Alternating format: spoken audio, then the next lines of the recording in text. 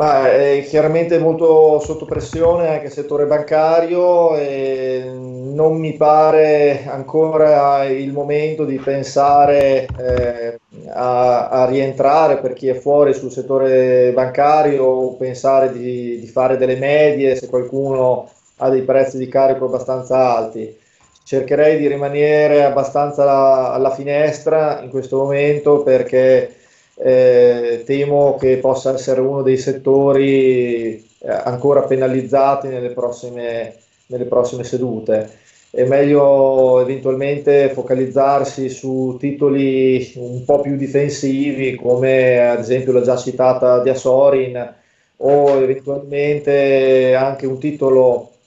eh, come, come Enel che può essere interessante da tenere nella propria watchlist, ha perso tanto eh, pure Enel, meno ad esempio rispetto ad Eni e dal punto di vista tecnico si è trovato quest'oggi a fare i conti con la media mobile 200 periodi che transita attorno ai 5,11 quindi può valere la pena diciamo quantomeno monitorarlo e, e valutarlo anche perché sotto i 5,11 si è assoluto un altro supporto statico che è quello dei 4,99 5 euro praticamente